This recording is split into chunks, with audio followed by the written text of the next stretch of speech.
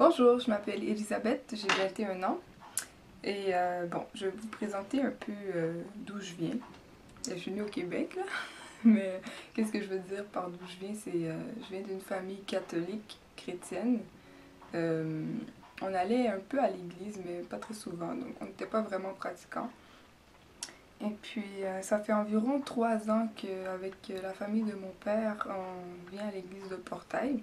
Là, en janvier 2011, j'ai pris une résolution. Ça a été de me rapprocher de Jésus. Ma résolution, c'était vraiment en 2011, il faut que je sois plus proche de Jésus.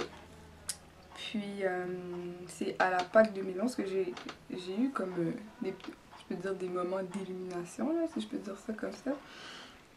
Euh, c'était un vendredi saint à l'église Nouvelle Vie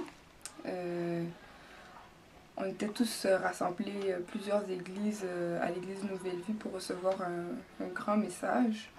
Puis moi, ce que j'ai retenu de cette soirée-là, c'est là que j'ai vraiment compris que Jésus était mort à la croix pour nous.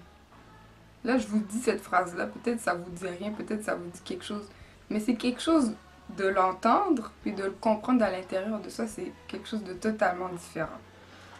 Donc, euh, j'avais souvent entendu cette phrase-là, Jésus est mort à la croix pour vous, mais qu'est-ce que ça voulait dire? Je sais pas pourquoi, mais cette soirée-là, ça m'a vraiment cliqué. Aujourd'hui, c'est un grand jour pour moi, j'ai décidé de me faire baptiser.